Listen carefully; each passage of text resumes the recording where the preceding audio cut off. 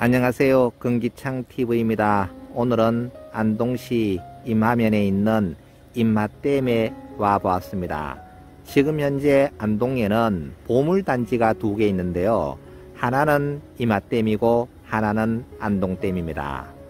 안동댐은 녹조로 인해서 심각한 문제가 발생하고 있고 임하댐은 지난번 태풍으로 인해서 이마댐 전체가 탁수로 인해서 몸살을 앓고 있습니다. 안동댐과 이마댐의 두 보물단지가 지금 애물단지로 전락해 있는데요. 너무나 안타까운 현실입니다. 이마댐의 탁수 문제, 안동댐의 녹조 문제는 어제 오늘의 문제가 아니고 댐이 만들어진 이후 지금까지 지속적으로 제기되어 왔습니다.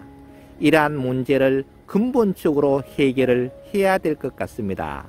해마다 이와 같은 문제가 발생을 하면은 용역을 발주해서 해결을 한다고 하지만 또 시간이 지나면 다시 이와 같은 사태가 재발생을 하고 있습니다.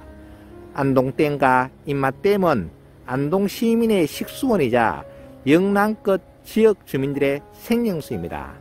이제 이와 같은 탁수 문제, 녹조 문제를 근본적으로 해결할 수 있도록 대책을 수립해야만 할 것입니다. 해마다 이와 같은 문제가 발생을 하고 있다는 것은 우리의 관심이 조금 부족하지 않았나 이런 생각이 듭니다. 안동댐과 이마댐이 보물단지로 새롭게 태어날 수 있도록 우리는 물을 잘 보존을 해야만 될 것으로 생각이 됩니다.